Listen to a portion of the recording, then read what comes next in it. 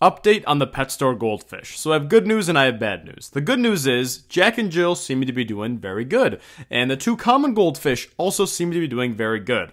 Now, the red cap orandas. Two of them are actually doing pretty good and they're growing a little bit. And that's where the good news ends. The other two that I had, unfortunately, passed. And I think that brings the total of up to four red cap orandas that I bought at this one pet store that have now passed. At first I thought, like, is there a problem with my source water or is there a problem with my water quality in general? But then all the other goldfish were thriving. Like, all the goldfish I got from Jimmy Goldfish are doing great. All my goldfish from Chicago are still doing great. Um, and all the other pet store goldfish I got from different pet stores are doing great great. So I honestly just think that maybe this one pet store got a bad batch of fish that were just very sensitive. So if you if you have a problem where you're buying a fish and it dies, you're buying a fish and it dies, it might be your fault, but it also just could be that you're buying from a bad source. And I believe that's the case here. I think these red cap orandas are simply not good. They're not hardy.